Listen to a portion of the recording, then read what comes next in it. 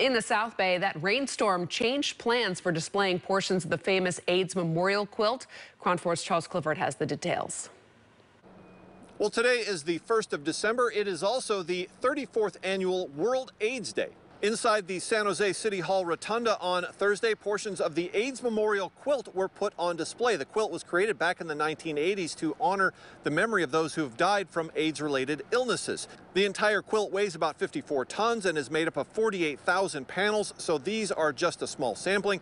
Many of those on display here honor people from across Santa Clara County who have passed away. This is the fifth year portions of the quilt have been put on display here. Organizers say the AIDS quilt is a reminder that there is still work to be done when it comes to fighting the disease. It wasn't too long ago when AIDS was shrouded in hate, in ignorance, and stigma. And, you know, even though there has been great strides, there's still more to do. There's still more to do getting to zero, zero infections, zero transmission, zero deaths with HIV and AIDS. Um, and I think it's important that we commemorate this day. Now, organizers tell me they feel it's more important than ever to remember World AIDS Day because the coronavirus pandemic and the recent outbreak of monkeypox have put a lot of pressure on the community of people who are living with HIV and AIDS. But for now, in the South Bay, Charles Clifford, KRON 4 News.